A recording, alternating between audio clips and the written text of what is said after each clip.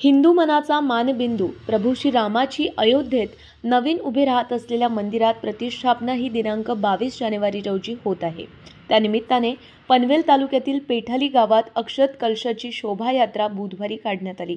या यात्रेत भाजपचे तालुका सरचिटणीस प्रल्हाद केणी मधुकर बुवा केणी नामदेव केणी काशीनाथ बुवा दिलीप बुवा माजी उपसरपंच सुभाष केणी माजी नगरसेविका शीतल केणी प्रतीक्षा केणी विजय केणी गुरुनाथ मुंबईकर अशोक ठाकूर नितीन केणी सुरेखा केणी प्रभावती केणी संजय उल्वेकर यांच्यासह ग्रामस्थ आणि महिला मोठ्या संख्येने या यात्रेत सहभागी झाल्या होत्या.